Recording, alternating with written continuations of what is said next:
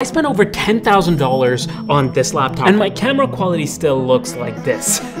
We gotta talk about this because frankly, laptop cameras suck.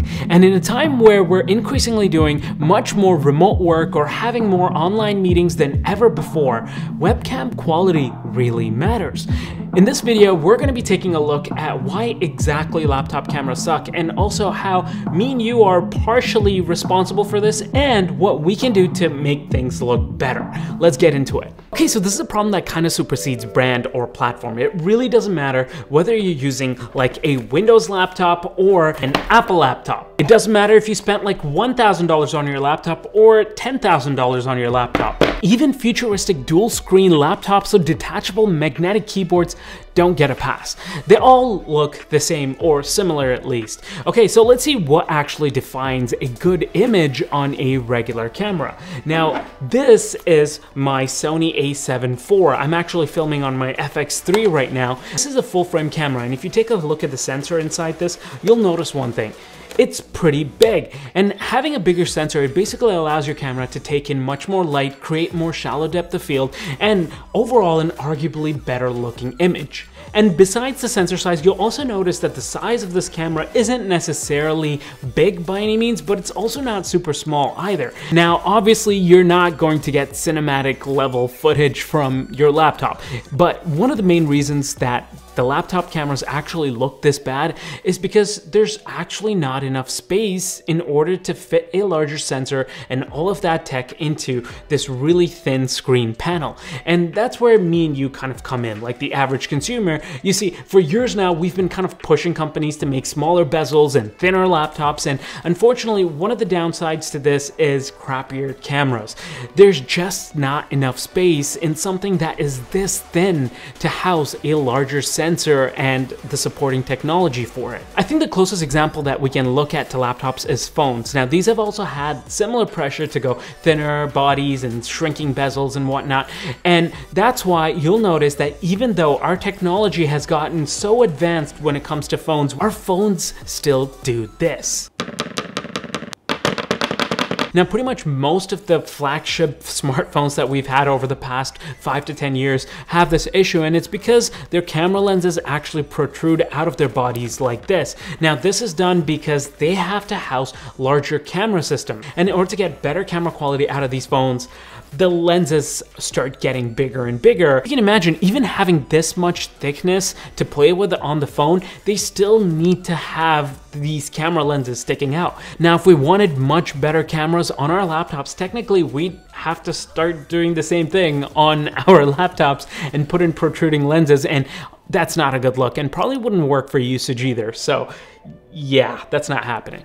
Okay, so what exactly can we do about this now? Because look, in this increasingly digital world, having a good quality webcam is becoming much more important, almost the equivalent of dress to impress, but digitally. So I'll go into some possible solutions. Now, you'll always have things you can do with your actual webcam, such as, you know, wiping it down, cleaning it, making sure that it doesn't have like fingerprints on it and everything like that, positioning yourself where there's no harsh lighting kind of behind you or, you know, above you or anything like that, maybe putting lighting lighting in front of you to face you and not using it in low light situations. So what are some other things you can do? Now, if you could use a bigger camera, using something like this will give you the best possible video quality. However, it's not really practical because not only is this thing really expensive, but it's also a lot of work to kind of rig up the whole thing. And frankly, with online compression and everything like that, when you're using like Zoom or Google Meet, it just doesn't make sense. The second option is you can use your phone. Now, for example, if you're within the Apple ecosystem, Apple has made it very easy for you to kind of just tap into your phone's camera instead of the actual webcam on your laptop. But I'm not a huge fan of this as well because it really takes away your primary use case device. And a lot of times when you're in meetings or something like that, you might want to have access to this. And that brings me to the final option and the option that I personally like using, which is the portable standalone webcams. Now this gives you the best of both worlds because you get solid quality in a relatively cheap and small enough size for you to take with you wherever you go. However, the question arises, which one is good and what should you actually buy? Now, out of all the options out there, there's two webcams that kind of really stand out and are probably the most popular options online. One is the Insta360 Link and the other is the OBSBot Tiny 2. Now, having used both of these extensively, here's what I've noticed. Firstly, sensor size. Now remember how I mentioned earlier in the video that having a bigger sensor is usually better. Well, the OBSBot is slightly bigger coming in at 1 over 1 5th inch CMOS sensor compared to the half inch sensor on the Insta360 Link. Now this generally helps with sharper details and gives a more natural color tone to the video as you can see here. Now because the sensor size is bigger with the OBSBot, it also takes in more light which allows low light performance to be better as well on the Tiny 2 versus the Link. Another area that I wanted to test here was tracking. Now this is a beneficial addition with going with a webcam like this because they also come with these like built-in gimbals which will allow the camera to actually move and track you wherever you go. So you can see OBSBot is like literally going wherever I go. Uh, it's doing a pretty good job. I move pretty quickly. Oh yeah, see, it lost me. The moment I move like a little bit quickly, it loses me. It lost me again, like literally, it was like, I gotta put my face down here. Okay, like literally, I just, see, it lost me again. So if you're presenting things or if you're having a video call with family and you have kids and stuff kind of moving around, I found that the tracking on the Tiny 2 actually works a little bit better than the Link. Another cool feature that the Tiny 2 has that the Link does not is voice control. Having voice control is actually pretty beneficial. Like I lent this out to my mom to use for some of her presentations and she found it very handy not needing to actually come close to the, you know, laptop and change the settings and stuff like that. And she could just use her voice to kind of tell the camera to do what she wanted it to. Along with this, both cameras do have gesture control as well. However, again, I did find that the Tiny 2 would be able to pick up my gestures a little bit better than the Link. To uh, zoom in, you're supposed to zoom in. Why are you not zooming? Why it's not working?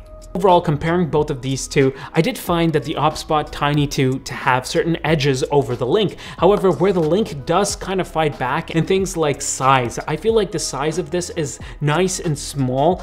Um, however, it's not like significantly smaller and the reason why this is bigger is because it does have that larger sensor size. I also like that the Link has this monitor mount built right into it and I don't need a separate part for it. However, the magnetic clip with the OBSBot does work pretty well and I guess it does give a little bit more flexibility to people who may not want to have that monitor mount and just keep it separate. Overall, I think both of these are fantastic options. I just like certain things that the OBSBot does. For example, like it also comes with this travel case with it where you can take it around with you because at the end of the day, I don't see these laptop webcams getting any better considering all the constraints laptop companies have to work with and camera sensor technology is just not going to have like this significant, you know, milestone change to it right now. So unfortunately, we're kind of stuck with having having to take these little webcams with us around if we really want to have the best quality. These kind of workarounds are our go-tos for the time being. If you're interested in picking up this webcam, I will have it linked in the description down below. And until then, I will see you guys in one of these two videos over here.